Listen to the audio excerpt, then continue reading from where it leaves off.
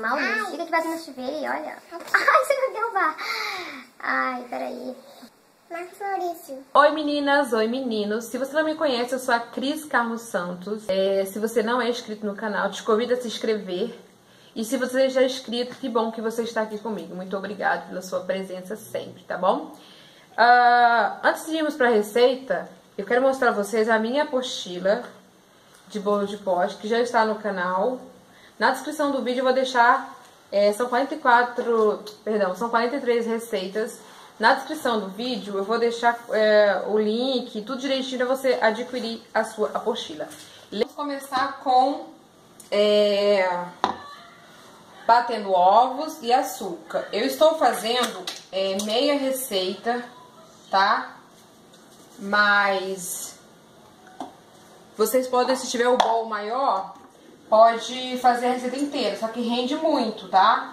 Depois eu vou deixar na descrição do vídeo, ou aqui mesmo no vídeo aí, a, a quantidade que rende, o tamanho do aro que rende, tá?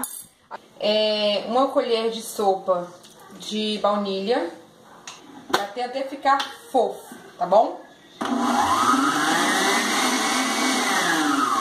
Mais ou menos 15 minutos.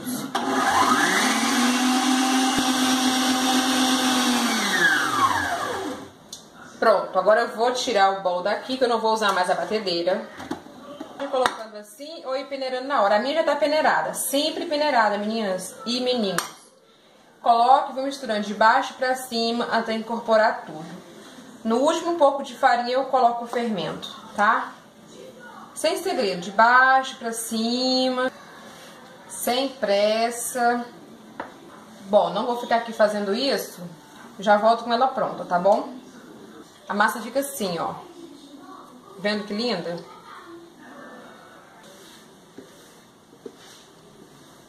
Pronto, agora é só espalhar com cuidado.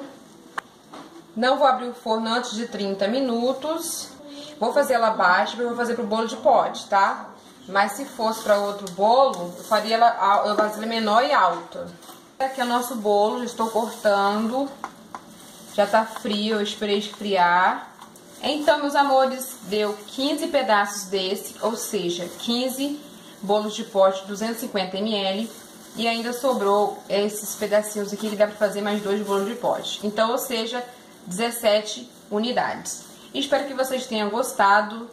Essa eu estou mostrando para as pessoas que não conseguiram fazer a minha, que é uma pena, porque ela é maravilhosa. Mas enfim, beijos e fui!